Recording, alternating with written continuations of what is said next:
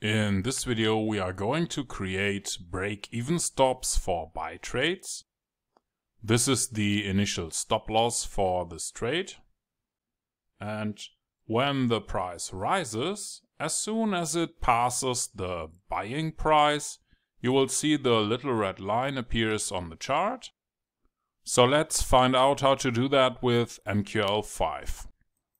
We start by clicking on this little icon here or we can also press F4 on the keyboard.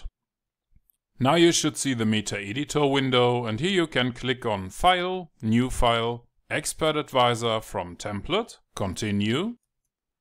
I will call this file Simple Buy Break Even Stop. Click on Continue.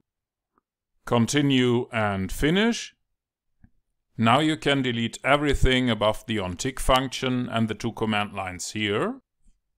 We start by including the trade.mqh file that comes with MQL5 and we will use an instance of ctrade called trade to open a test position. You wouldn't do that on a real account, but we need to open a test position so we can set the break-even stop. For a buy position we need to find out the ask price.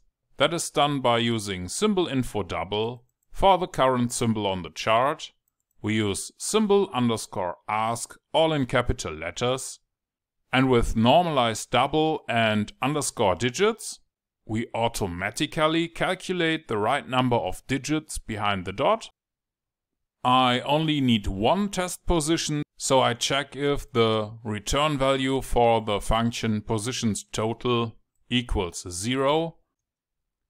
And if that is true, we use trade.buy to open a test position for 10 microlot. We also set a stop loss and a take profit value here. And at the end of the onTick function, we want to call another function that shall be called check buy break even stop we pass the ask price as a parameter. And this function doesn't exist so far, so we need to code it now. Our custom function has no return value and it will take the ask price as a parameter. We will use a for loop.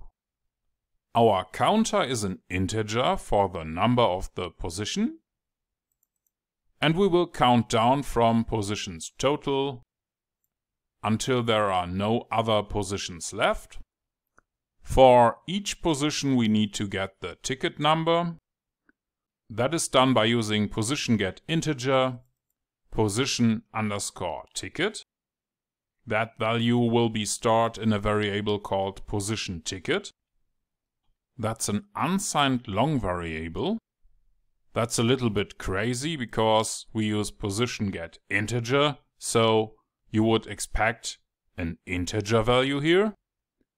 But when you mark position ticket and press F1, you will see that it actually returns a long value here. We also need to get the position buy price, or maybe I should say the open price for the position that is done by using position get double. And we use position underscore price underscore open. Let's repeat that two more times. Because we also want to know the position stop loss and the position take profit value. Both can be calculated by using position get double.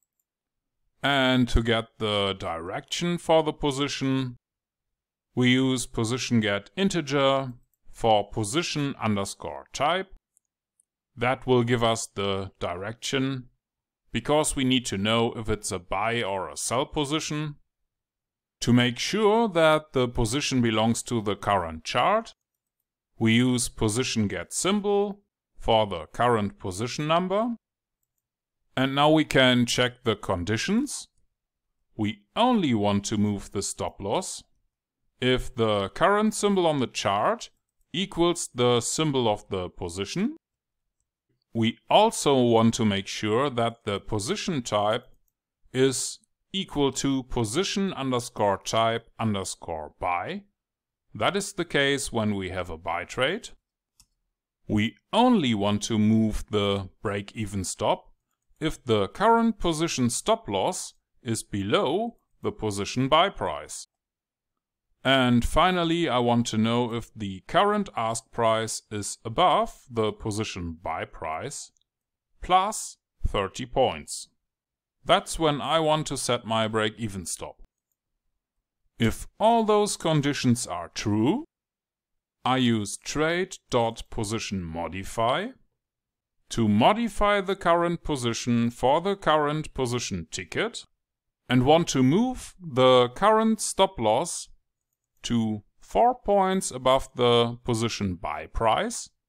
That's the price that we paid when we opened the buy position. And in this case, I leave the position take profit value unchanged. Let's reformat the code here. We need to close the for loop and we need to end the function. That should be it. Well, if you have no idea what all the code here does, or if this was too fast for you, maybe you want to watch the other videos in this basic video series first, or maybe even the premium course on the website might be interesting for you. For now, please click on the compile button. I didn't get any errors here, just one warning about possible data loss because of a type conversion and if that is also the case for you, you can click on the little button here or you can press F4 to go back to MetaTrader. And in MetaTrader we click on View, Strategy Tester or press Ctrl and R. Please pick the new file simple breakevenstop.ex5. Mark the visualization option here and start a test. Here is the expert advisor. Let's zoom into the chart. The price is far below the buy price, so we don't see any break-even stop here. But now you could see that the little red line here is the break-even stop.